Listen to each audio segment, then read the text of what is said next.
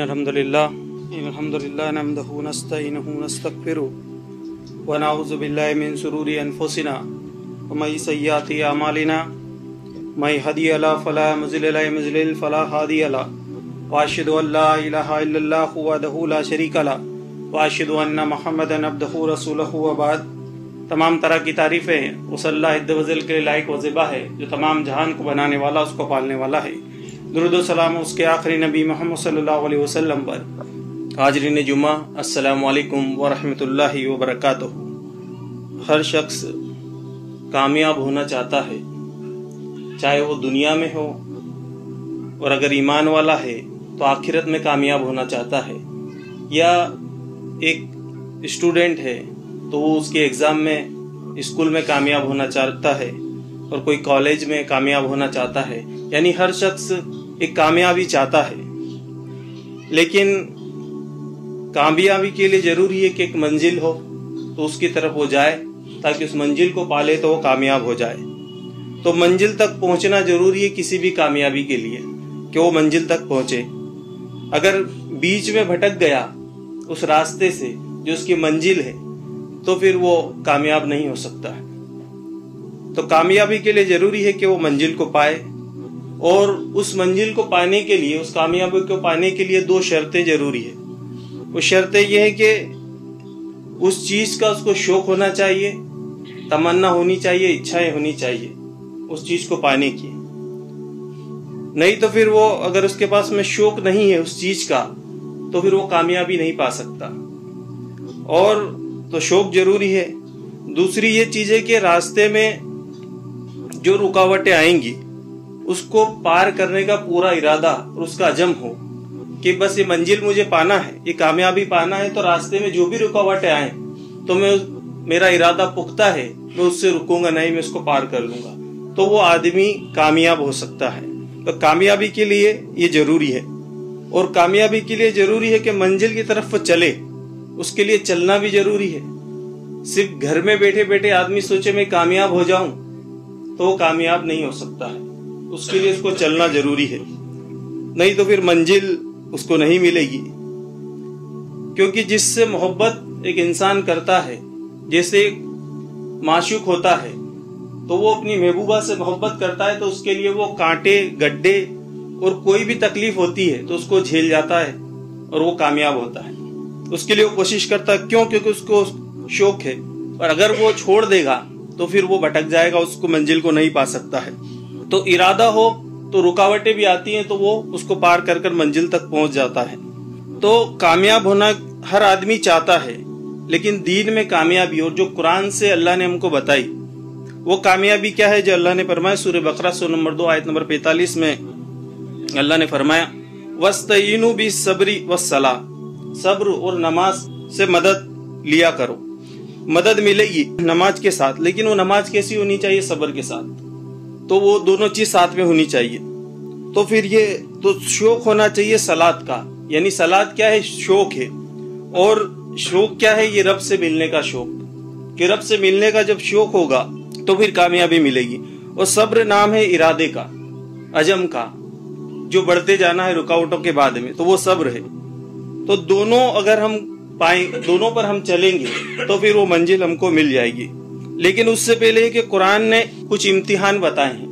कि वो इम्तिहान ज़रूरी है, कि उस इम्तिहान को पार करना पड़ेगा। वो पर्चे, वो परीक्षा, वो इम्तिहान है, जिसका पेपर है। रास्ते में वो पेपर तुमको देना पड़ेगा। तो तुम उस मंजिल को पा सकते हो। तो पहले तो ये कहा कि कि मरने से और मौत से जो है, उससे डरना मत। उससे तुम डरना मत। ये अल्लाह ने यहाँ कुरान में फरमाया सूर्य बकरा, सो नंबर दो, आयत नंबर एक सौ तिरपन में फरमाता है कि मुसीबत के वक्त सब्र और नमाज़ के ज़रिए से मदद मांगो और सब्र करने वालों के साथ में अल्लाह है। फिर यहाँ फरमाया उसकी आयत नंबर एक के अंदर कि वल्ला तकुनु लिमन युक्तलु फ़ी सबीलिल्लाहि अमवात, कि जो लोग अल्लाह की राह में मर जाए, उन्हें तुम हरगिज मुर्दा मत कहो। उनको ये मत कहो, कहना भी मत कि मुर्दा है। क्यों मत कहना? कि बल आया हो वला किन तशोरून, कि जो वो ज़िंदा है तो तुमको शौर नहीं वो ज़िंदा है, वो तुमको शौर नहीं है। तो तुम उसको मुर्दा समझना मत, क्योंकि अल्लाह के राह में कत्ल हुए हैं। उनको समझना मत, क्योंकि हज़रत हुसैन रज़ी शहीद हुए, अल्लाह के राह में कत्ल किए गए। तो वो ज़िंदा हैं, अल्लाह के नज़दीक। तो उनको मुर्दा कहना मत, लेकिन ये यजीद है तो यजीद हमेशा से मुर्दा है। वो ज़िंदा था तब भी मुर्दा था, वो ज़िंदा था तब भी मुर्दा था, और हमेशा के लिए वो मुर्दा है। लेकिन ये अल्लाह ने इनके ताल्लुक से कहा है कि अल्लाह की राह में ये कत्ल हुए हैं तो इनको तुम मुर्दा मत कहना। तो जो लोग ये भी हैं कि कुछ लोग यजीद को रज़ी या रहमत लगाते भी हैं और साबित करने की भी कोशिश भी करते हैं, किसी खास एक मकसद के तहत, उसके तहत करते हैं, लेकिन उसके बाद भी ये दलील ही काफ़ी है उनके लिए कि वो सिर्फ़ साबित करते हैं, हालाँकि कोई लेना देना उनका नहीं है, क्योंकि उनके वो अपनी औलादों का नाम कभी भी यजीद नहीं रखते। तो इससे मालूम पड़ जाता है किसी बेवजह की जो है उनको रहमत लगाना या फिर रज़ी कहना है। बेवजह का है। तो अल्लाह की राह में जो कत्ल हुए हज़रत हुसैन कत्ल हुए तो वो ज़िंदा है। क्यों क्यों कत्ल हुए और क्यों ज़िंदा है? क्योंकि उनकी नज़र मंजिल पर थी। उनको जो पाना था, उसको शौक था, इसलिए उन्होंने शहादत का जाम पिया। तो इसके बाद हमको बताया कि इम्तिहान आएँगे। और मरने और जीने का तस्वुर तुम्हारा तुम सही करो। इम्तिहान तो आना है दुनिया के अंदर। उसका तस्वुर तुम सही करो। और कुरान ने तो एक कहा कि ज़िंदा बहुत कम लोग हैं। बल्कि भीड़ की भीड़ जो कुरान में बताया गया, बोले सब मुर्दा है। जो भीड़ तुम देख रहे हो, सारी मुर्दा है। ज़िंदा कोई नहीं है। ज़िंदा है तुम्हारी नज़र, कि तुमको लग रहा है चल फिर रहे हैं, लेकिन असल में सब मुर्दा है। ये सारे के सारे लोग मुर्दा है। वो कई जगह कुरान में अल्लाह ने कहा, क्योंकि अल्लाह ने कुरान के अंदर जो कहा, ज़िंदा उसको कहा। जो अल्लाह की राह में लगा हुआ है, वो ज़िंदा है। और जो अल्लाह की राह से भटका हुआ है, वो मुर्दा है। वो ज़िंदा नहीं जो इस्लाम की जद्दोजहद में, कुरान के लिए, अल्लाह की, अल्लाह ने जो बताया, उसकी जद्दोजहद में लगा हुआ है। चाहे वो इबादत के मकसद हो, या चाहे लोगों तक पैगाम पहुँचाने का मकसद हो, उसमें लगा तो वो ज़िंदा है। उसके अलावा फिर अगर वो है, और कुछ दुनिया में कितना ही कामयाब है तो वो मुर्दा है फिर अल्लाह की नज़र। वो ज़िंदा नहीं है। तो कुरान ने ये कहा तो ये तस्वुर ठीक करो पहले। कि मुर्दा को मंजिल नहीं मिलती। क्यों? क्योंकि मुर्दा चलता ही नहीं तो उसको मंजिल नहीं मिलती। तो ज़िंदा भी है, और अगर वो दीन की राह में नहीं है तो मुर्दा ही है, फिर उसके लिए कोई मंजिल नहीं। मंजिल उसी के लिए है, जो अल्लाह की राह में चलता है तो वो कामयाब हो जाता है। तो ज़िंदगी और मौत का तस्वुर को ठीक करो, फिर इम्तिहान आएँगे, और फिर वो इम्तिहान तुमको देना ज़रूरी है। और वो इम्तिहान आना ही है। और वो पाँच पेपर जो हमको कुरान ने बताए एक आयत के अंदर, ये पाँच पेपर तुम्हारे पास में आएँगे तो उससे तुमको घबराना नहीं है। अगर तुम उससे घबरा गए और पेपर नहीं दिया तो तुम उस रास्ते से भटक जाओगे, फिर तुमको मंजिल नहीं मिलेगी। तो चलना है और इम्तिहान वो मंजिल, वो क्या फरमाया? सूर्य बकरा, सो नंबर दो, आयत नंबर एक सौ पचपन में अल्लाह ने फरमाया ओला नबलू अन्नकुम, कि तुम्हें ये इम्तिहान देना है। ये इम्तिहान हम तुमसे लेंगे। ये पेपर तुमको देना है और अगर मंजिल पाना है तो उसकी विषय क्या है? क्या सब्जेक्ट है तुमको जो पाँच पेपर देना है? वो पेपर जो है, पाँच विषय वो है कि मिनल खौफी। हम तुम्हें डर से आजमाएँगे। इम्तिहान लेंगे तुम्हारा। खौफ से इम्तिहान लेंगे कि वो खौफ है। वलाजुई और भूख से तुम्हारा इम्तिहान लेंगे। वो पेपर आएगा तुम्हारे अंदर, ज़िंदगी के अंदर, कि भूख से हम तुम्हारा इम्तिहान लेंगे। वल कसीमी मिनल अमवाल, और मालों के नुकसान से हम तुमको आजमाएँगे। ये भी पेपर होगा तुम्हारा, कि मालों की कमी से तुमको आजमाएँगे। वला नफूसी, और जानों के नुकसान से भी आजमाएँगे। वल सम्राट और फलों की कमी से भी आजमाएँगे। यानी ये पाँच इम्तिहान है। और इसके बीच में अगर तुम रुक गए, और पेपर को पास नहीं किया तो तुम मंजिल नहीं पा सकते। मंजिल नहीं पाएँगे तो कामयाबी नहीं मिलेगी। तो ये कामयाबी के ज़रूरी है। खौफ खौफ क्या है कि हर चीज़, डर किस बात का है? इंसान को। अगर उसको इस बात का डर है कि छापा पड़ जाएगा तो इससे हमको मालूम हो जाएगा कि आदमी किस तरह का छापे से क्यों डर रहा है, इसके घर में क्या क्या है। इसलिए डर रहा है छापे से। तो उसका कैरेक्टर हमको मालूम पड़ जाएगा, छापे से डरता क्यों है? क्योंकि अनलीगल काम है इसके पास। इसलिए छापे से डरता है। तो डर रहा है। तो खौफ क्या है? एक आदमी को खौफ है कोई मुझे मार ना दे। खुद की जान की फ़िक्र है, यानी खुदगर्ज आदमी दूसरे की कोई फ़िक्र नहीं, इसको खुद की जान की फ़िक्र है खुदगर्ज है। तो इसका कैरेक्टर इससे मालूम पड़ता है। तो खुद की जान का डर है। उम्मत ना मर जाए। ये अच्छा डर है, ये अच्छा खौफ है। क्योंकि उसको सबकी फ़िक्र है पूरी उम्मत की, कि ये खत्म ना हो जाए, ये डिसेबल ना हो जाए। ये काम करना बंद ना कर दे, इबादत करना ना बंद कर दे तो ये अच्छा डर है, ये अच्छा खौफ लेकिन वो खुदगर्जी वाला खौफ है, खुद का डर है। तो ये इससे मालूम हो जाता है कैरेक्टर के किस चीज़ से डर रहा है। तो ये पास होगा कि नहीं, ये कामयाब होगा कि नहीं? इससे हमको मालूम पड़ जाएगा किस डर का। तो हमारा खौफ कौन सा है, और हम किस चीज़ से बेपरवाह हो जाए तो अपने आप का हमको जो है, तस्किया करना है। दूसरी चीज़ भूख, कि भूख का इम्तिहान तो किस तरह? अब भूख, सिर्फ़ भूख काय की होती? खाने की भूख तो नहीं होती। भूख बहुत तरह की होती है। खाने की भूख तो जानवर को भी लगती है, तमाम मखलूक को लगती है, लेकिन भूख सब तरह की होती है। इज़्ज़त की भूख, किसी को शोहरत की भूख है, किसी को दौलत की भूख है, किसी को माल की भूख है तो हर तरह की भूख होती है और सब तरह की भूख लगती है। और एक जो है किसी को ताकत की, किसी को ओहदे की भूख है, कि ओहदा मिलना चाहिए। उसकी उसको भूख है। लेकिन एक भूख होती है, शहादत की भूख। क्या वो भूख किसी को है कि शहादत मिल जाए? तो वो भूख असल भूख है, कि शहादत की भूख उसके अंदर हो। कि अल्लाह की राह में इसी तरह मर जाए कि वो उसको शहादत मिल जाए। तो ये शहादत की भूख है। तो ये कामयाबी का पेपर है उसका। अगर उसको इज़्ज़त की, शोहरत की, ताकत की, पावर की, इकतदार की, ओहदे की भूख है तो फिर वो नाकामयाब है। असल भूख जो शहादत की भूख है वो जो कुरान ने बताया कि हम तुमको आजमाएँगे। तो भूख किस तरह की है? जो पहले वाली भूख है या ये शहादत की भूख है? तो शहादत की भूख है अगर तो पास है, नहीं तो फिर वो फेल है। फिर वो फेल हो जाता है, वो पास नहीं है। तो शहादत की भूख ये मंजिल पर ले जाएगी।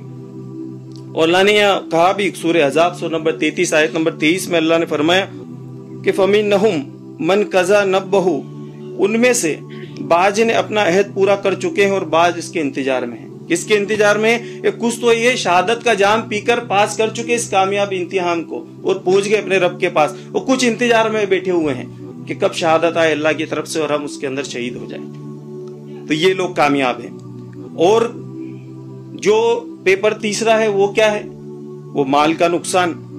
अब इसमें कुरान ने बहुत सारी रहनुमाई की हमारी। और इसमें भी कहा है कि तुम इसका तस्वुर भी ठीक करो माल का, कि माल का क्या फलसफा है।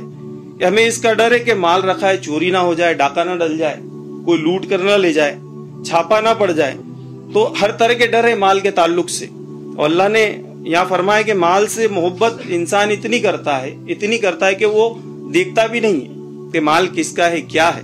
अल्लाह ने सूर्य फज्र सो नंबर उन्नबे आयत नंबर उन्नीस में फरमाया वतकुल्ला अल तुराशा अकलन लम्मा के मरने वाले का तरका भी समेट कर ये लोग खा जाते हैं। यानी किसका तड़का खा जाते हैं कि बहनों का भी खा जाते हैं, उसको भी नहीं देते। और अक्सर लोग खा जाते हैं, बहनों का कौन देता है? क्या कोई दिया किसी ने कि भाई, नहीं, चुल को इसके शादी कर दी, दहेज दे दिया, जा, हो गया। वो तुमने करी तुम्हारे शौक के लिए, दिखाने के लिए। तुम्हारे यहाँ पर इज़्ज़त तुमको चाहिए थी। माशरे के अंदर, जात के अंदर, बिरादरी के अंदर तुमने तुम्हारी इज़्ज़त के लिए खिलाया।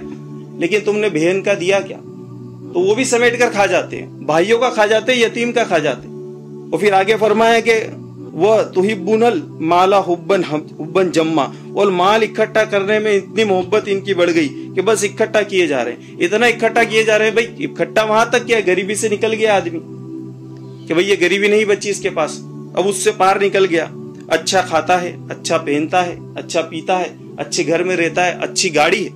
अब और क्या चाहिए इसको? उसके बाद भी जमा कर रहा, फिर क्या ज़रूरत है कि इसको जमा कर रहा? क्योंकि जमा की तो कोई हद ही नहीं ना। जमा की हद हुई है क्या आज तक दुनिया के अंदर? कि एक आदमी ने कह दिया, मैंने इतना जमा कर लिया कि कारून के पास? उसने कह दिया था कि हाँ बस बहुत खत्म हो गया अभी। क्या बिल गेट्स ने कह दिया कि अंबानी ने कह दिया कि बहुत हो गया, छोड़ दो। तो जमा की कोई हद नहीं है दुनिया के अंदर। जमा करता जाता है। और ये सब जमा करता है तो पेपर पर रहता, उसके काम का भी नहीं रहता। इतना हो गया, उसके बाद वो खा नहीं सकता नोट खाएगा। वो पेपर में रहता, उसकी डायरी में बढ़ता रहता है। सिर्फ़ वो वहाँ से अंक बढ़ते जाते हैं उसके पास। वो सब पेपरों में रहता है, वो समझता है कि बढ़ रहा। और बढ़ की बढ़ाने के जो है, और बढ़ना वो समझता है कि ऐसे बढ़ रहा है। वो बढ़ाने के तरीके लोग कहते हैं कि यार बेटे बेटे बढ़ जाए, सूद पे चला दो, और बढ़ जाएगा। तो उसको चलाता है। लेकिन कुरान ने कहा कि माल जो बढ़ने का फलसफा तुम तो जानते नहीं हो कि अल्लाह ने कुरान में क्या बताया कि माल बढ़ने का फलसफा क्या है? माल बढ़ता कैसे? और फिर वो फेल हो जाते तो माल जो है सूद से नहीं बढ़ता। वो फिगर बढ़ता है। क्या फिगर बढ़ता है कि हाँ ये चार डिजिट का था, पाँच डिजिट का हो गया। तो फिगर बढ़ता है, लेकिन उसके अंदर बेबरकती होती है। वो बढ़ता हुआ तो हमको लगता है, लेकिन उसके अंदर बेबरकती होती है। तो जो दोगे अल्लाह की राह के अंदर और दूसरे को दोगे अल्लाह की रजा के लिए तो फिर उसके अंदर वो बढ़ता है। लेकिन हम ये सोचते कि भाई, देने से तो घट रहा है। हज़ार थे, पाँच सौ दिए गए, पाँच सौ ही बच्चे हमारे पास। तो ये तो घट रहा है। तो अल्लाह ने यहाँ पर फरमाया सूर्य बकरा के आदम दो सौ छिहत्तर में कि सूद में बेबरकती और सदकात को अल्लाह बढ़ाता और पालता है। उसको वो बढ़ाता और पालता है उसमें बरकत देता है। और इसी तरह जो है सूर्य रूम के आयत नंबर उनचालीस में फरमाया कि और जो जक, जो लोग जक़ात देते हैं जो जिसमें अल्लाह की रजा के लिए और चाहते हैं कि अल्लाह इससे राज़ी हो जाए तो वो लोग अपने माल को कई गुना बढ़ाते हैं। तो कुरान का फलसफा अलग है। कुरान का फलसफा देने से बढ़ाता है अल्लाह। इकट्ठा करने से, जमा करने से उससे नहीं बढ़ाता। और इसके अंदर भी फिर लोग डंडिया मारते हैं। जो असल देना है, जक़ात का देना, उसको भी नहीं देते। उसके अंदर भी जो बहाने तलाश करते हैं। तो ऐसे लोग, और जो इसको इंतहाई इसलिए बढ़ाते हैं कि सूद पर चलाते हैं। तो उसके ताल्लुक से कहेंगे तो पागल है लोग। ये मैं नहीं कह रहा हूँ, कुरान में कहा अल्लाह ने कि ये तो पागल है लोग। बावले हो गए ये। वो कुरान में अल्लाह ने फरमाया, दो सौ पिछहत्तर सूर्य बकरा की आयत नंबर में, कि कहा कि इनको जो शैतान ने छू लिया जो सूद खाने वाले हैं तुम समझते हो कि कायम है लोग? तुम समझ रहे हो कि कायम है? क्या इनके पास बंगला है, गाड़ी है, सब कुछ, अच्छी ज़िंदगी इनकी ऐश की चल रही है। तो ये कायम है, ऐसा तुम समझते हो, लेकिन बल्कि ये कि शैतान ने इनको छू कर बावला कर दिया है। ये बावले हो गए, और इनको असर हो गया है। ये बेकी बेकी बातें करते हैं। असर हो जाता है ना किसी को जिन जिन्नात लग जाता है, हम देखते हैं बेकी बेकी बातें कर रहा है। इसको असर लग गया। तो उनको असर लग जाता है और हम उनको काम, कायम समझ रहे, कामयाब समझ रहे। बल्कि असर लग गया, क्यों लग गया वो? क्योंकि अल्लाह कह रहा है कि सूद को अल्लाह नहीं बढ़ा तो कहते हैं, भाई, सूद और तिजारत तो एक जैसा है। तो बावले जैसी बात नहीं कर रहा हूँ। तो ये बावले हो गए, पागल हो गए, जो इस तरह की जो बात कर रहे हैं। तो उनको असर हो गया। तो सदका बढ़ता है, वो खर्च करते रहने से बढ़ता है। तो माल इकट्ठा था, वो फिर अगर पड़ा इकट्ठा तो फिर उसके अंदर बेबरकती उसके अंदर आ जाती है। और नहीं तो फिर क्या होता है पड़े पड़े सड़ भी जाता है। जैसे अभी सड़ा, दो साल पहले, इकट्ठा कर करके रखा था तो इसे ही सड़ गया वो। लोग दौड़ रहे बचाने के लिए। उसमें कह रहे भाई आधा ही देना, लो, दस लाख ले जाओ, पाँच ही दे देना, हमको चार दे देना, तीन देना, जो आए भागते भूत की लंगोटी। तो ये ऐसा भी होता है फिर। माल की मोहब्बत को इकट्ठा करते तो वो भी हो जाता है। फिर एक और जो पेपर है, वो क्या है? वो पेपर है, चौथा पेपर, जान का नुकसान। जान का, इसका भी पेपर आएगा। इसमें भी तुमको इम्तिहान देना पड़ेगा। और ये भी आएगा। तो जान की कमी। अब जान जो है, इंसान इससे घबराता है कि वो जान चली गई तो। लेकिन जान कहीं नहीं जाती। जान खत्म होती ही नहीं है। ये नफ्स है, ये खत्म होना नहीं है। इंसान ये समझता है कि यार, मर गया, मौत आ गई, खत्म हो गया। खत्म नहीं हुआ वो। वो इंतकाल इसलिए कहा जाता है कि इंतकाल यानी मुंतकिल हो गया वो। इस दुनिया से दूसरी दुनिया में चला गया। जान वहाँ चली गई, उसकी वो दूसरी जगह चली गई, मरा नहीं हो उसकी बरजक की ज़िंदगी शुरू हो गई। फिर वहाँ से उसकी आगे की जन्नत दो की ज़िंदगी शुरू हो जाएगी। तो खत्म तो होना ही नहीं कभी। वो हमेशा के लिए। तो वो इससे डरता है। तो यहाँ पर यह है कि इसको वो डरता है। जान का उसको डर लगा रहता है। तो इसका भी तस्वुर ठीक करो कि जान क्या है। और ईमान वालों का जो फलसफा है, वो अलग है। कुरान में अल्लाह ने बताया जान के ताल्लुक से कि जिसने एक को, एक इंसान को कत्ल किया, उनने ऐसा कर दिया, पूरी दुनिया को कत्ल कर दिया। ये जान का जो कुरान में अल्लाह ने बतलाया। और बताया कि जिसने एक को बचा लिया तो उसने तो सारी दुनिया को बचा लिया। तो सारी दुनिया में कौन है? सारे के सारे मुर्दे कुरान में तो यही कहता अल्लाह के, जो दीन की राह में, अल्लाह की राह में, अल्लाह के लिए लगा हुआ है, वो ज़िंदा है, बाकी जितने सारे मुर्दा है। तो उसमें से उठाओ जो जो मुर्दा है, जो ज़िंदा लोग है। ज़िंदा लोग कौन? जो दीन के अंदर लगे हुए हैं, जो उसकी इबादत में लगे हुए हैं, जो दीन को फैलाने में लगे हुए वो ज़िंदा है। बाकी अगर नहीं है, वो दुनिया में लगे हुए तो सब मुर्दा है अल्लाह की नज़र में, जो दीन के लिए नहीं लगा हुआ है। तो मुर्दा है कुरान के अंदर, यही कुरान का फलसफा है। तो वो जो लोग मुर्दा है तो जो ज़िंदा लोग है, उसके अंदर से उनको निकालो और ज़िंदा करो। तो उसने एक को ज़िंदा किया, पूरा दुनिया को ज़िंदा किया उस तो ये फलसफा कुरान का तो ये पेपर भी उसके अंदर आने वाला है। तो यहाँ यहाँ अल्लाह ने फरमाया तो उनको बुलाओ।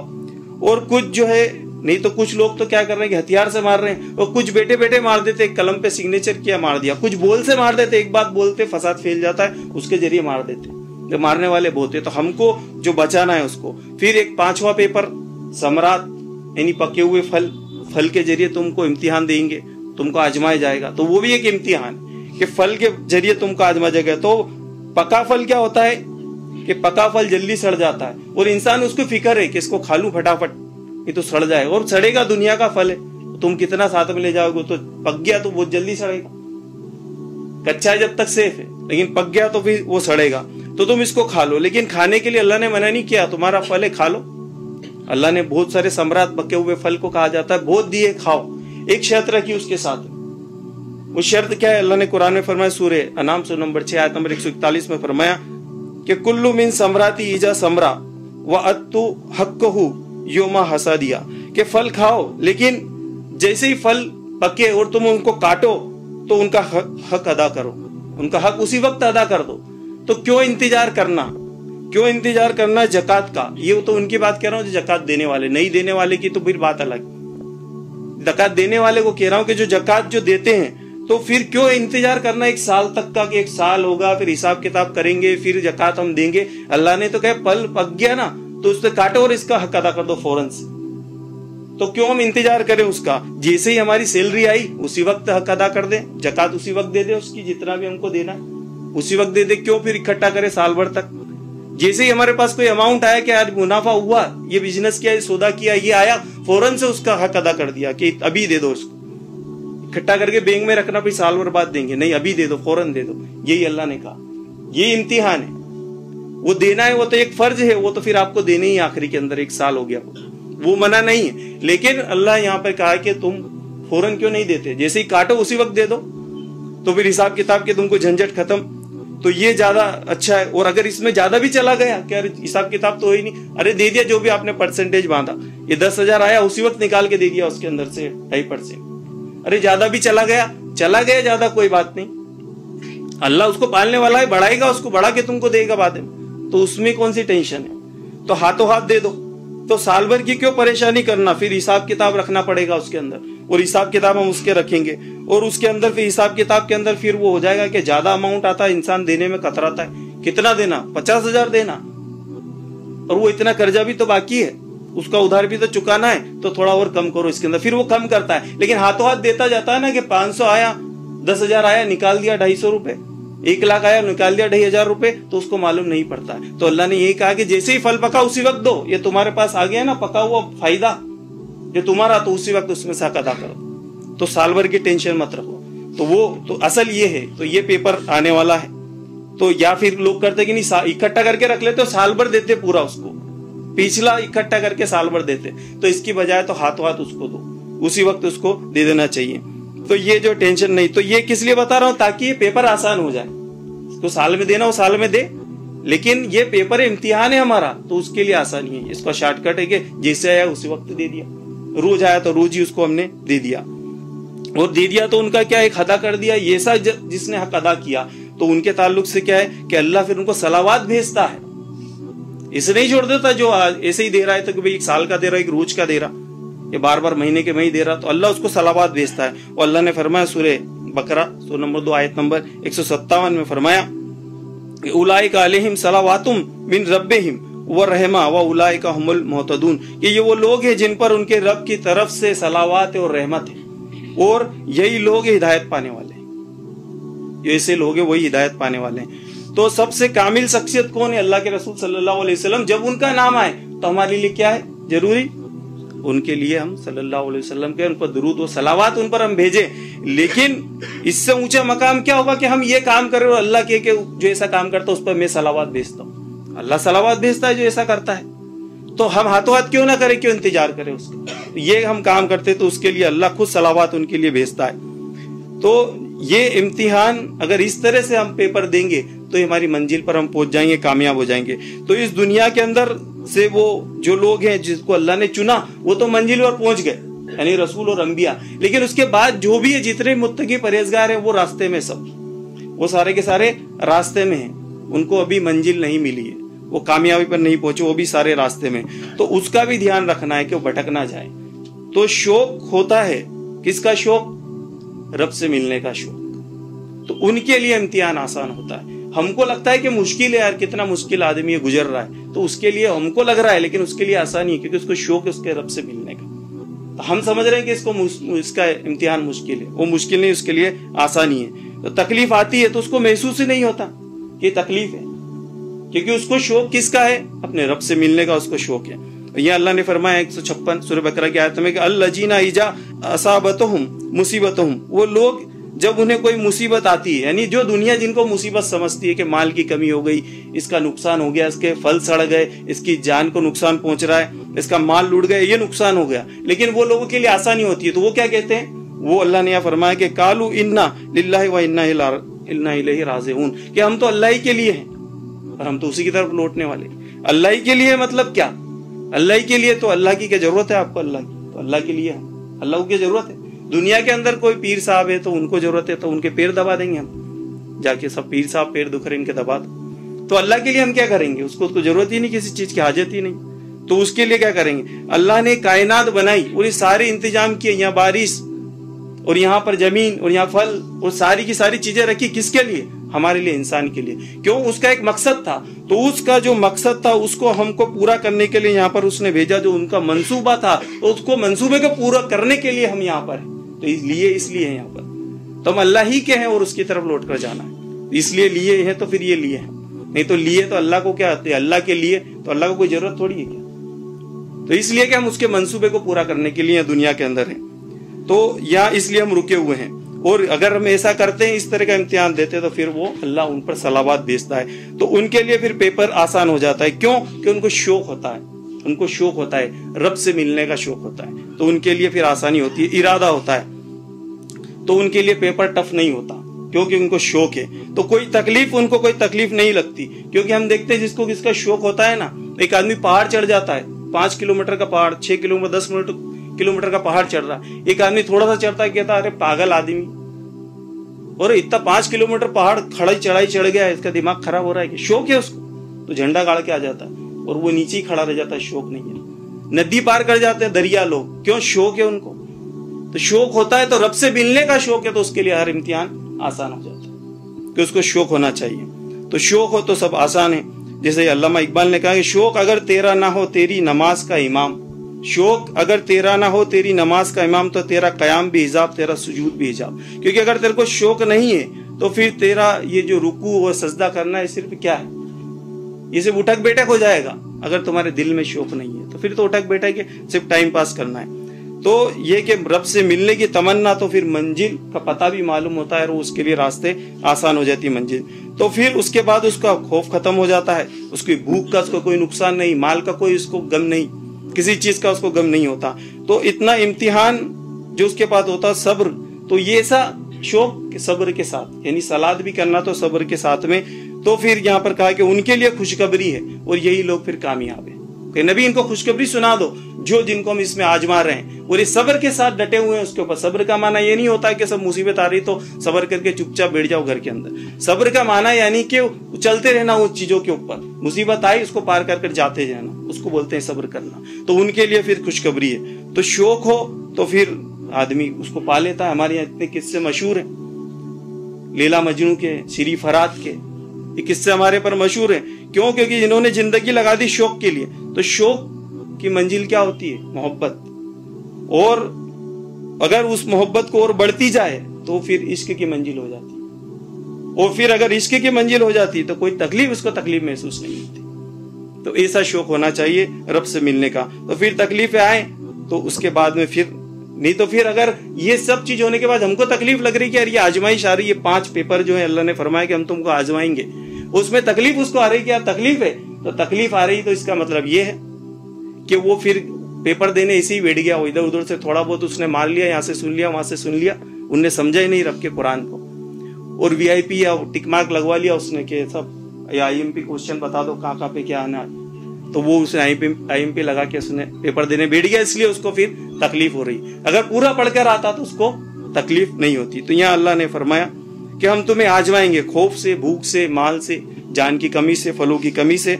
और और इन सब्र करने वाले को खुशखबरी दे दो। और जब उन पर कोई मुसीबत आ जाती है तो वो कहते हैं कि तो हम तो खुद अल्लाह के हैं और अल्लाह की तरफ़ लौटने वाले हैं। और उन्हीं लोगों पर अल्लाह की सलावात है और रहमत है और यही लोग हिदायत पाने वाले हैं। तो हमको इस पेपर की, पाँच पेपर की तैयारी करके रखना है। हम सोचा, अरे, अभी क्या ज़रूरत पड़ी तैयारी करने की? पूरी ज़िंदगी पड़ी, मेरी उम्र तो दस साल, मेरी तो बीस साल, अभी तो बहुत सारा बाकी है। तो बाकी नहीं है। कुरान में अल्लाह ने फरमाया सूर्य अंबिया, आयत नंबर एक में फरमाया कि लोग जो है, लोगों के हिसाब किताब का वक्त करीब आ गया है। हिसाब का वक्त करीब आ गया है। और लोग इस गफलत में मुँह मोड़े हुए हैं कि अभी तो वक्त आया ही नहीं। और ये रब की आयतें सुनाई जाती है तो हँसी टिट्टे करते हैं। हँसते हैं ये। क्या रे कोई ऐसा होने वाला है क्या? बहुत सारी ज़िंदगी बढ़ी है और ये तो मरने हमारे खानदान में सब सौ साल जिए। तो ये रब की आयतें आती हैं तो फिर उनका हिसाब का वक्त करीब आ गया। तो कहीं ऐसा ना हो कि हम उस पर गौर फ़िक्र ना करें और ये वक्त हमारा निकल जाए। वाखिर दवाना अलहमदिल्ला